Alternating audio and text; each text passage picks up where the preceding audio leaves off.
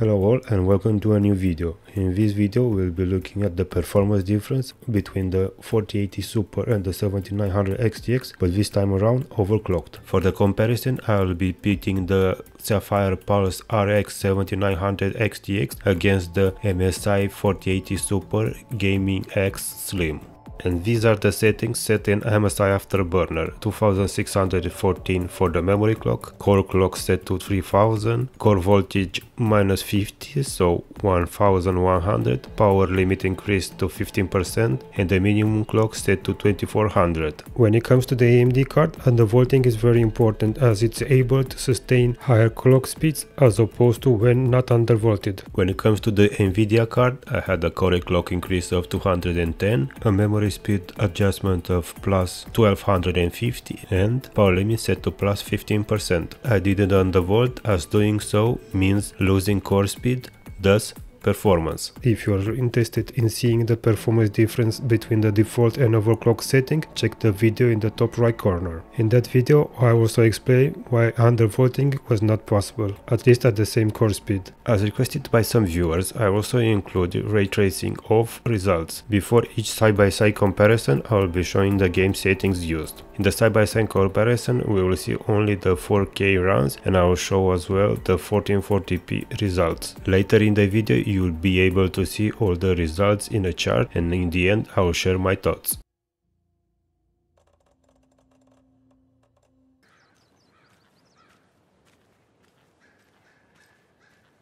Tweet, tweet, my sweets.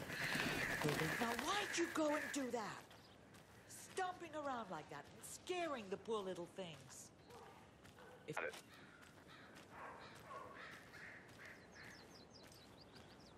Tweet, tweet, my sweets.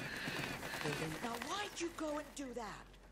Stomping around like that and scaring the poor little things.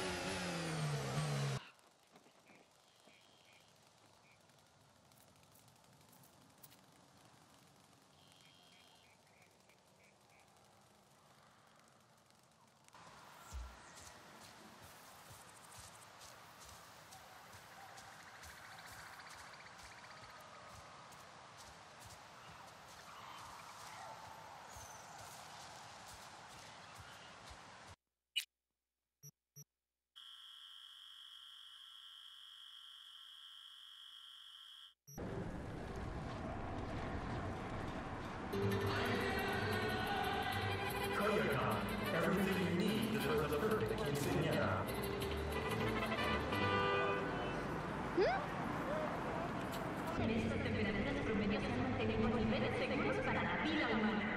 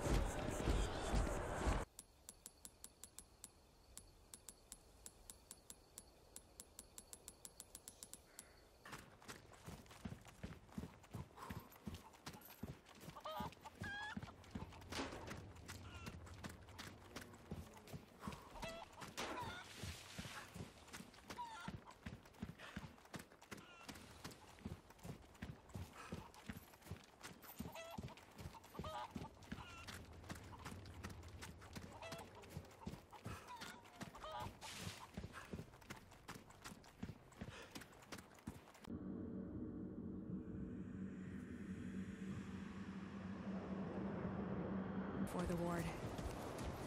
What you did and all. Oh.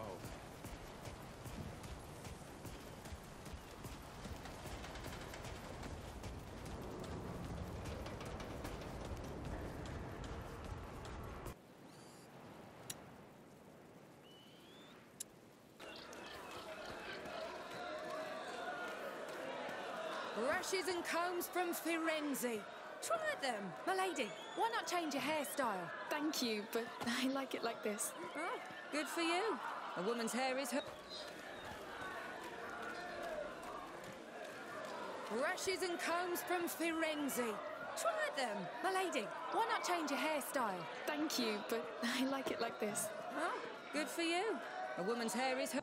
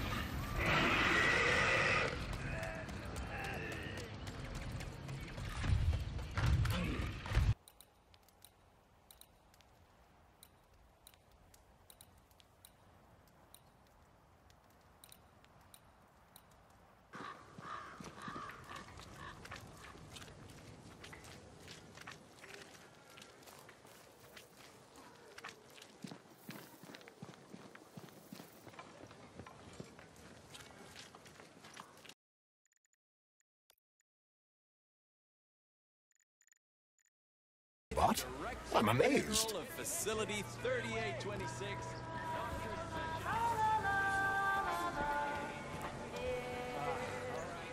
Step right up. You can become part of Collective with a thought device, comrade. I wasn't able to test Ratchet and Clank with ray tracing using the 7900 XTX because of the beta drivers, in combination probably with the fact that this is an Nvidia sponsored title. This was the only game that had this issue. Now let's look at the graph for the 4K averages. The green represents the MSI 4080 Super, while the red the Sapphire RX 7900 XTX. The driver versions are displayed on top, with green the Nvidia ones, with red AMD ones, and also the chipset drivers. What is important to note that there are some games that don't pass the 60 FPS mark, the blue line drawn on the screen right now. And bear in mind these are the averages, so these games with the bars that stand on the left hand side of the blue line need tweaking as above 60 FPS averages are needed to enjoy a smooth gameplay experience. Feel free to pause the video to have a better look at the chart. The 7900 XTX managed to average 84.28 frames per second across all game tested, while the Nvidia card managed 82.57. The Nvidia card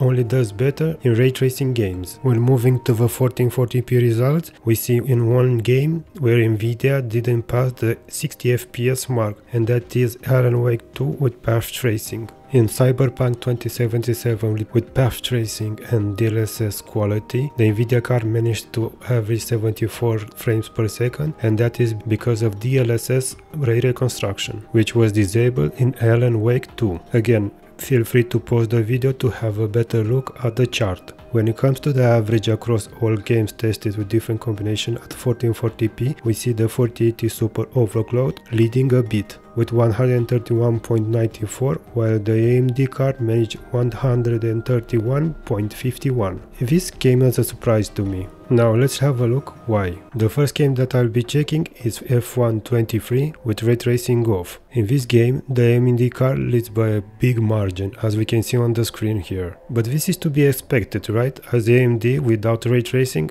usually leads. But let me show you that this is not always the case as there are some games where the Nvidia card when we are not using ray tracing leads. This is Lies of P and to be honest I'm not sure if this is an Nvidia sponsored title. But as we can see on the screen here we see the AMD card trailing a bit the Nvidia card. I retested a few times and these are the correct results. Note that this is a pure raster game. Now let's move to another game, Spider-Man. This game supports ray tracing but here we are checking without ray tracing. In this side by side I zoomed in a bit to see better the frame rates and the Nvidia card leads even without ray tracing. So the 7900 XTX doesn't always lead when it comes to raster games. If you are interested in seeing the performance of these two cards in their default setting, check the video in the top right corner. And there you go, the 4080 Super seems to be a bit better at 1440p, while the AMD card, the 7900 XTX tends to be a bit better at 4K, mainly because RT is not that important and also I don't think it loses that much